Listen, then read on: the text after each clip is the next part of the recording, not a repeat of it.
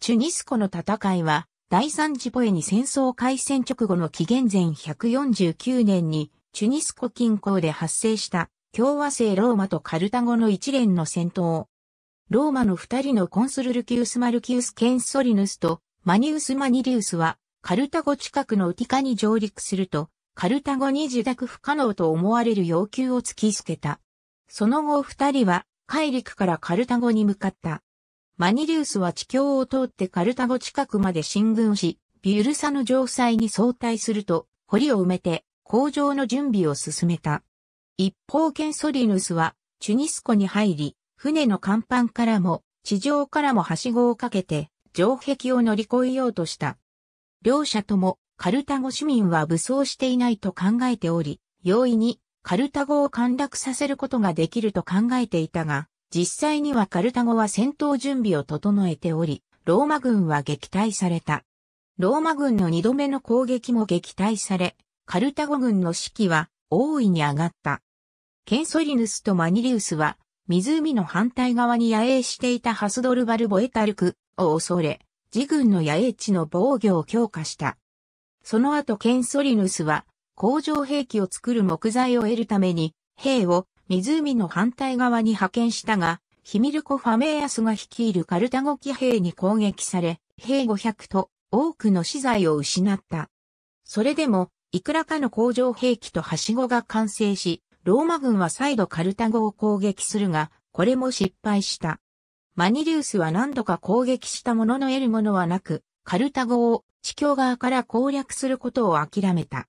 ケンソリヌスは湖の一部を埋め立てて広いスペースを確保し、そこから二組の巨大な波状土で城壁を破壊することにした。一つはトリブヌスミリトゥムの指揮のもと6000の不評が、もう一つは軍船の総主が動かした。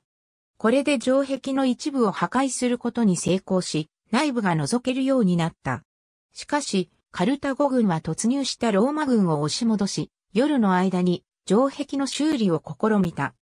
夜間の作業は困難であり、また修復できたとしても、再び波状土で破壊される可能性があるため、カルタゴ軍は波状土自体を破壊するために出撃した。完全な破壊には成功しなかったものの、波状土は使用不能となった。夜になってローマ軍は再びカルタゴ城内に突入したが、カルタゴは前方に武装した兵士、後方に石と棍棒を持った兵士、さらに屋根の上にも兵士を配置して待ち構えていた。この時、トリブヌス・ミリトゥムであったスキピオ・アエミリアヌスは、霊下の兵を突入させず、部隊をいくつかに分けて城壁に沿って配置していた。突入したローマ軍は、カルタゴ軍に撃退されて城外に逃れたが、この時、アエミリアヌスの兵が、ローマ軍を壊滅から救った。この行動によりアエミリアヌスは名声を得た。シリウスが日没時に水平線に見え始める頃、ケンソリヌスの軍営に疫病が蔓延し始めた。城壁によって新鮮な海から風が遮られていることが原因と考えた彼は軍船を海に移動させることにした。これを見たカルタゴ軍は小舟に可燃物を乗せ火を放ってローマ艦隊に向けて押し出した。風はローマ艦隊に向かって吹いていたため作戦は成功しローマの軍船の大部分は破壊された。この後ケンソリヌスは選挙を監督するためローマに戻ったが、マニリウスは残った。カルタゴ軍はマニリウスに対してより大胆に圧力をかけ始めた。